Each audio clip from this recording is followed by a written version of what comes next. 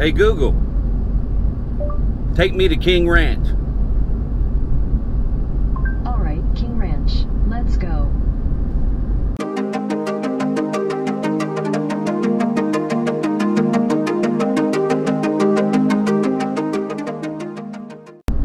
Guess where I'm going? You just heard me, King Ranch. Well, I got this truck. Remember, I was looking for a deal. I knew 2020s were coming out. And, but I wanted a deal because I wanted to be able to put whatever money I could save on my truck towards my RV, for, you know, so we could travel. Well, I found this truck and it was black and it had the King Ranch interior. The King Ranch package has everything, you know, chrome package and everything I want. But I thought black with brown, you know, I don't, uh, you know, looking in the pictures, I'm just not sure I like that, you know. I was thinking more black with the black platinum interior, like my friend Chris got. But, you know, they were working with me. They were straight and honest. You've probably seen in my video. So I said, well, you know, this is for a function, for pulling, so I don't need to be too choosy. Well, I got there, got the truck, onto and Texas 286 South. got there and I got the truck and I'm like, wow, this is really nice. I had no idea.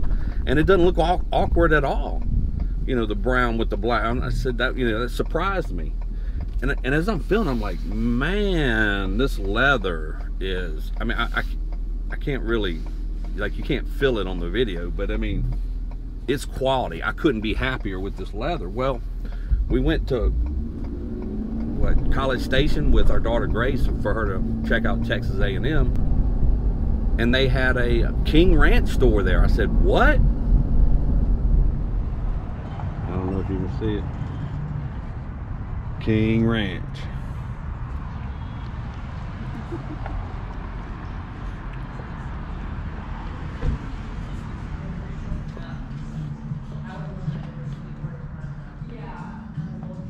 I have a King Ranch F450, so I, so it's neat to see. Huh? The ultimate purchase. He's so excited. We've had that partnership with Ford for about 20 years, but it's still a working cattle ranch. Uh-huh. The ranch itself, Okay. down in South Texas. Okay. So 150 years ago, they made their own saddles using the cowhide leather. And that started it that all. started the store.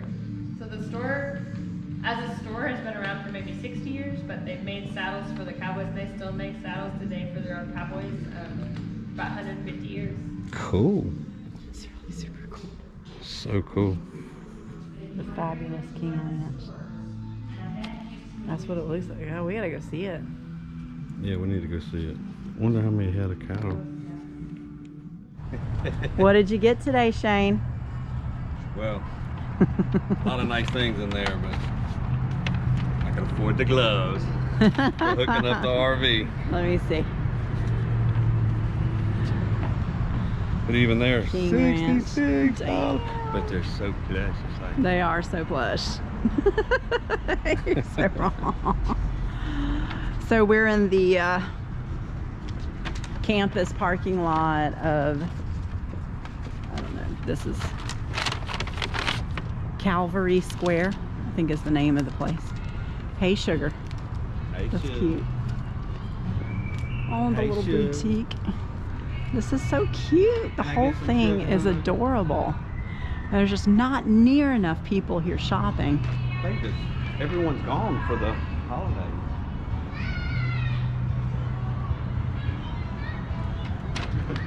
yeah, Gracie needs to get her mask Yeah, this is cool. Onward Reserve. Sweet Paris.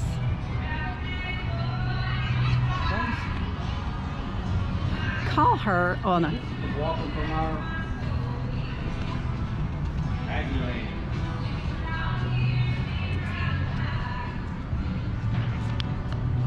So we're right across from main campus of Texas A&M, right here in the center of town.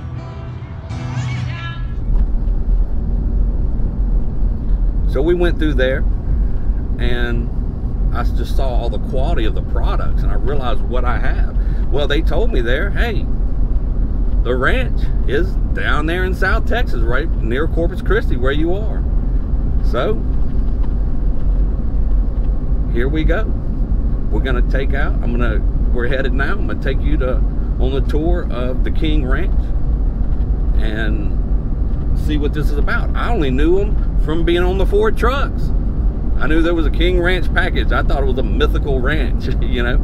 I didn't know that it was from a ranch that was from like the 1800s and started off making their own saddles and they were making their own saddles in such high quality that other people wanted their saddles so they started making it for other people well they still have what they call their saddle shop is where they sell all their leather goods and man do they they do not skimp. Everything they make is quality.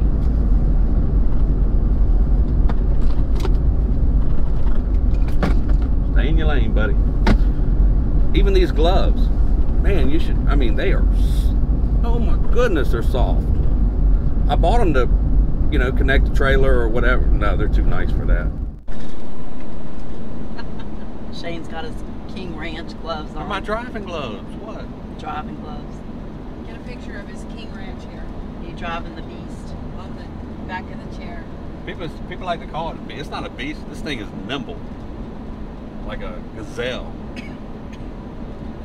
So these are our friends, David and Lisa, We're gonna put it here. making our go making We're gonna put it here. Where are we going, Lisa?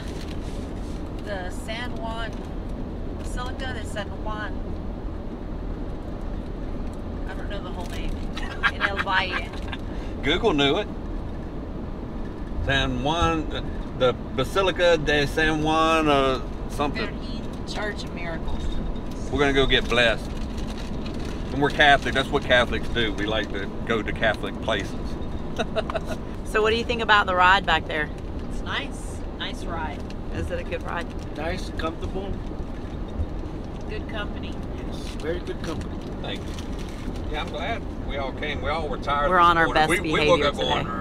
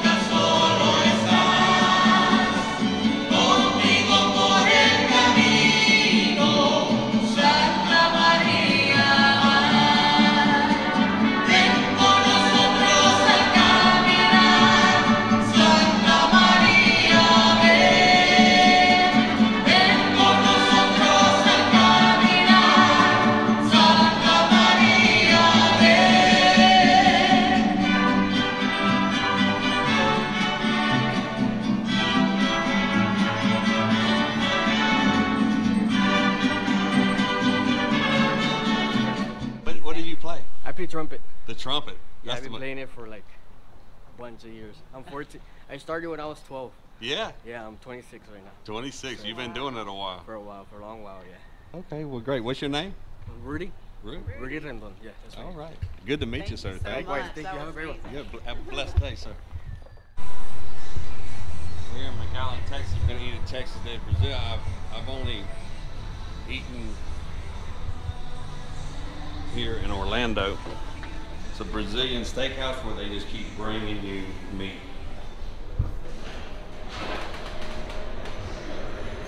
The secret I do here is when the cheap meat comes, I turn my red card on, and when the good meat comes, I turn the green card on.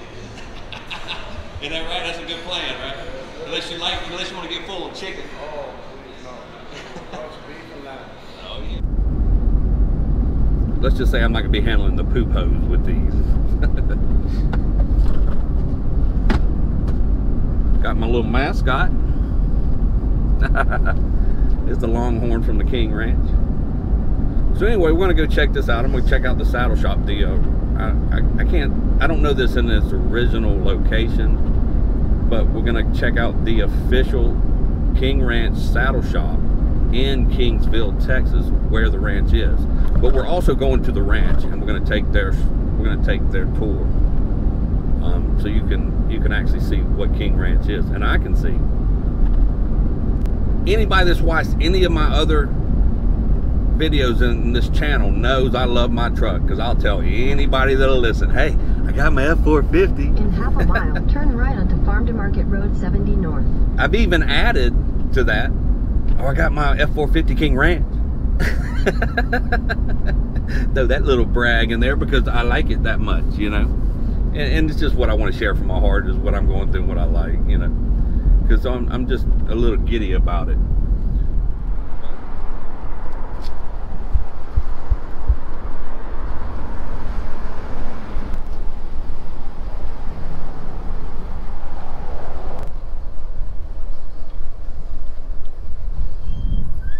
How you doing?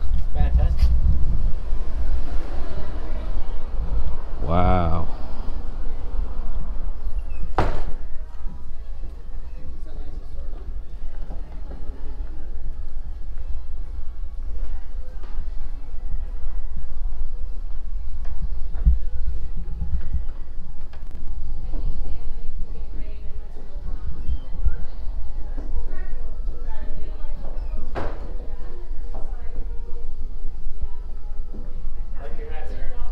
Oh, thank you. My dad, we got the same one, don't we? Yes, sir. My wife said I can get some boots for my birthday. There you go. What kind of boots are we looking at getting? Those real smooth, square ones. Like they're square, but they're not like super square. you know? Gotcha. Well, if you want to take a look at them, I'm more than welcome. Well, thank you. What's what's on the um? I'm Shane, by the way. Do you Oh, mind being on no, camera? I don't. Not at all. So Okay, that's awesome. Great. Yeah. Yes, sir. Daniel. Well, I bought a truck. It was a King Ranch package. Mhm. I thought it was a mythical thing that Oh, was yeah. to afford, you know, Yeah, a lot for of- ranchers or whatever. And Yes, then I sir. found out it's real. I'm in Corpus Christi. I Oh. went to College Station. Y'all had a Mhm. store there, and Yes, I was sir. like, "Whoa!" it- Yeah. they actually did. And the ladies in there, I saw the quality of everything. I said, Mm. "Wow!" And the ladies there said that the ranch was here and Yes, so sir. close, so I came out to see. You. Awesome. Well, welcome for sure. Thank you so much. Sir. Yeah, so y'all y'all make everything. I oh mean, yeah, yes sir. We make stuff for our desks. We make luggage. We make office supplies. Uh, we do have so Hibbler's actually makes those bronze statues for us, and they have some busts that we have for sale, and that'll be the nail guy bust. okay, nice, Yes sir. great. So can you show me? uh Man, everything's just so nice, huh? Oh yes sir. Can you uh, show me where the boots are? Yeah, it'd be right over here.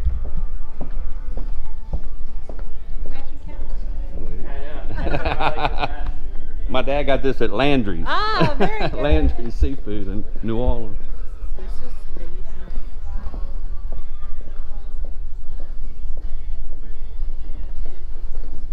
Hello. How How you doing?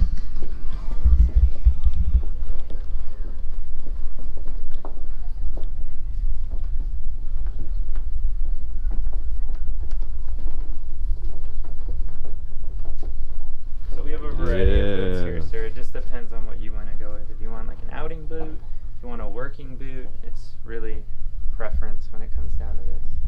I saw some nice ones in uh, College Station, Mm-hmm. kind of like with the square. Mm, Yeah, y'all got them there. yeah, these would be our Luke Casey, uh, Lucchese boots. Like the one he's just put up right now. Mm-hmm. Yes, sir. Yeah. Lucchese. Yeah, we decided to do a partnership with them. Our Cowboys wanted something more comfortable, more durable out there when they're working. So all of our Lucchese boots from uh, this one on are gonna have rubber sole. So they're they're like they're co- very comfortable boots.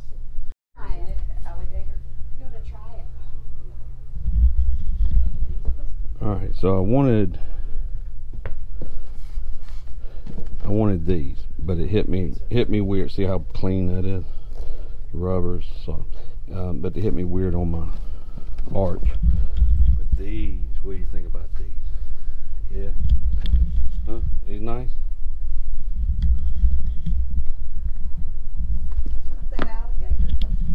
Y'all approve of these? Good, I do too. Thank you. What's your name again? Daniel, sir. Daniel, I Yes, sir. appreciate it, brother. problem at all. Found me the beautiful, perfect Oh boots. yeah, and they are very beautiful. We had to work. Yes, sir. We had to work at it, but we got it. Mhm. Y'all have a great day. I'm gonna go catch the tour. Awesome. Slight left onto King Ranch. We had originally planned the trip with our friends Lisa and David. We were going to Basilica de San Juan, and then we were going to go to the King Ranch in that trip. But after being at Mass and then going to eat at at the Brazil Steakhouse, um, we ran out of time and found out that they didn't have uh, tours any more tours left on Sunday. So here I am. I went back by myself to go on the tour and uh, you know buy those boots for my birthday. So I'm pretty excited about that. I'm wearing the boots as I'm riding onto the ranch here to go take the tour. So it's it's all big fun for me at this point.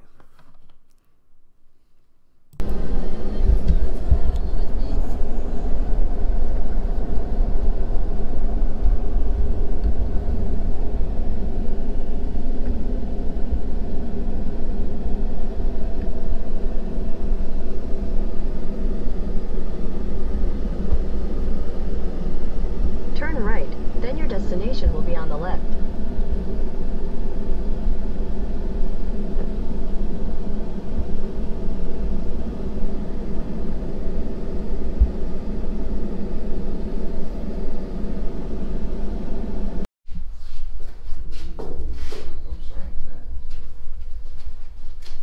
the entire process of what it took to just make one blanket.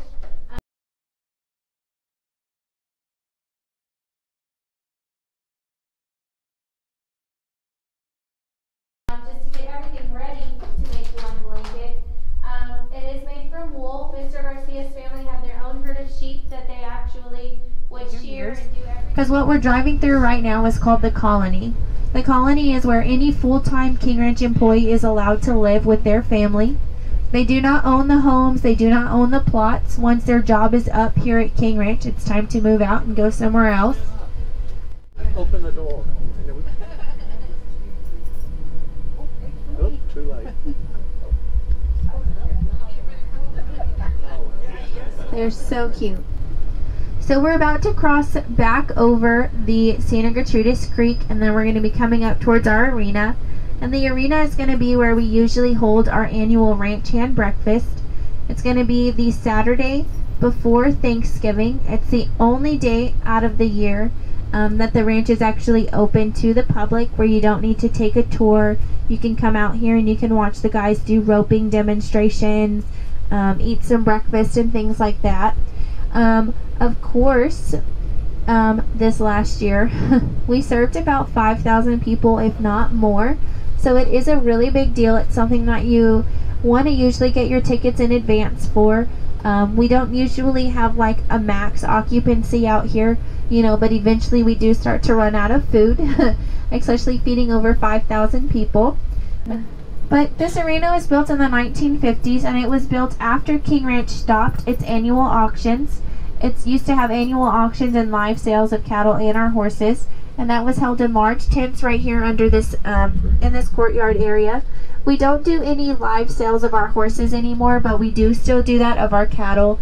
And then of course we have our catalog, and then we have our Breeders International building that you can always talk to if you wanted to purchase.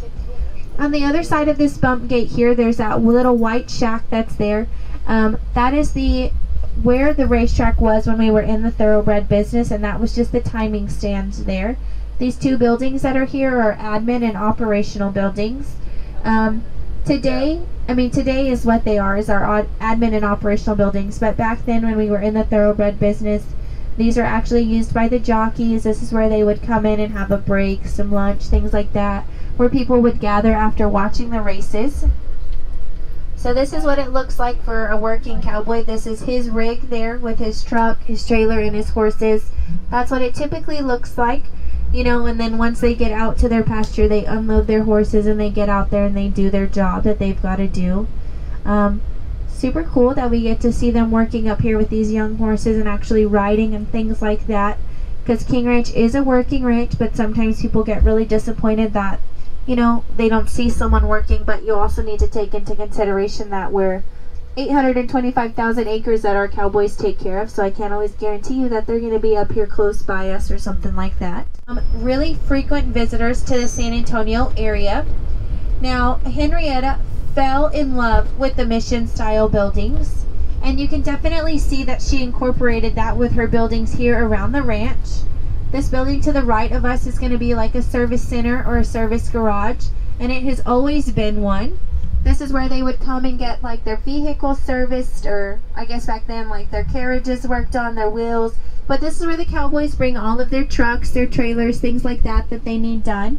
Since King Ranch has its own gas plant, we have our own gas pumps out here. The employees have this fancy little gas card that they use that tracks how much, you know, they actually spend and things like that. This wooden barn that's here, I'm going to pull in front of it. Um, it might look familiar to some of you guys. They use it quite a bit in our Ford commercials when they're telling you all about King Ranch Ford. So let me pull out of the way here so you guys can look back and see it.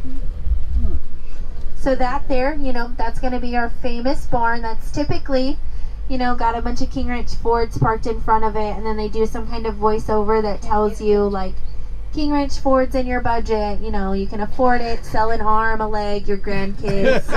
whatever you got to do to afford one. so it's the only wooden barn that King Ranch has today. It was built between the 1920s and the 1930s by a gentleman named Mr. Chon Silva. Over here, this building to the right is going to be the only thing that would look familiar to Captain King if he was to come and visit the ranch today. The only reason it would look familiar is because it was remodeled in 1913 to match their main home after their original home burned down. Mr. King would have four guards at the top facing each direction just to keep a lookout over his ranch and to let him know of any unannounced guests that might be coming or just what was going on around the ranch itself. The middle of it is used for conferences and the bottom of it is used as an office now. But originally the bottom was used as a store um, for the employees to come over here and get whatever it was they were going to need for the week. Because the closest town was easily going to be a day's trip. So now we're going to drive in front of the main house. I'm not allowed to make a complete stop, but I do drive extremely slow. Can you open the doors here too? Um, well, the house is going to be on our left side Oh, okay, rather than mind. the other side. Well, open the left door. Oh, there is one. So this home was started to be built in 1912 and it was not finished until 1915. This is because Henrietta could not stick to her budget. Now, her original budget for the home was $126,000. The final approximate cost for the home was $325,000. So she went way over budget, you know, just a smidge. The cannons that are out here, they are working cannons. It is said that Mr. King would typically sound them off on the 4th of July. So I'm sure you guys can imagine how much Henrietta loved that. Now the home is not occupied by anyone full time. It is more like a five-star hotel for the family members. It is equipped with a full-time staff. There is the bulldog statue that's there on the right-hand side that was gifted to Mr. King because it said he had a bulldog personality when it came to his business dealings. There's an owl on top of this awning that's staring right at us. then there is this peacock that's in front of us. And the reason that the peacock is here, and there's quite a bit of them, they might be in the trees, that's where they've been lately. Um, but the peacocks are here in honor of Miss King. If you guys read the tidbit in the visitor center about how much she disliked rattlesnakes, um, you guys know that she was paying a few nickels for rattlesnake rattlers. If you guys haven't read that, I definitely recommend that you go in the visitor center and do so. But the peacocks are here because they kill rattlesnakes and they're in honor of Miss King. Now, Miss King had two requirements. One was publicly known and the second was not. The first one was that everyone could be able to wear their boots in the home. Second was that her home was going to be fireproof because she was so traumatized from their first home fire. Well, she thought that if a fire was going to start, it was going to start in the kitchen. So she didn't even have the kitchen attached to her home. And that's going to be this long white building that's here.